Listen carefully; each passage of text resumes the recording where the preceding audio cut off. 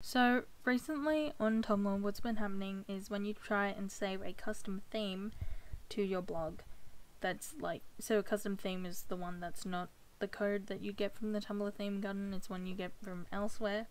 What happens is sometimes it comes up with this and it's very annoying but there's a very easy fix. I feel like a saleswoman sounding like this. So I'm gonna exit out of this and I said leave, yes. And I'm gonna just grab a theme um, I'm using this theme and I'm going to go to blog settings. This is just a side blog. I'm going to go edit theme. Um, but you can do it on your main blog. I have no idea why I added that it was a side blog.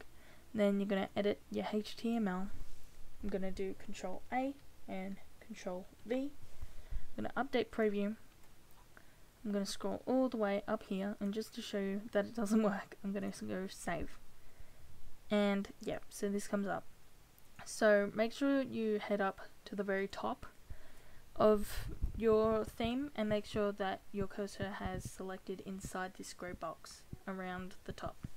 You're going to do Control F, it might be Command F on Mac, I'm not using my MacBook right now, and you're just going to want to search for HTTPS. So it'll search for all the like instances of HTTPS in this and then what you're going to want to do is in the replace with like box you're going to write something that won't be in the original code. So for me I'm going to write something random. So just 90s blues I guess. So 90s blues. And then you're gonna I'm just gonna scroll up again. And I'm gonna just gonna go I'm gonna click up here and then I'm gonna replace all. Then what you... Boy, I didn't even say leave site. What the hell?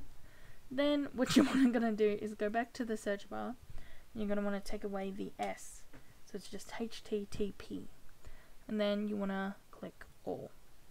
So this should all be 90s blues. So all instances of that should, like of HTTP and HTTPS, should all be 90s blues. So then you want to take this, and then you want to put it in here. So you want to put your what you the thing that you replace the HTTPs with.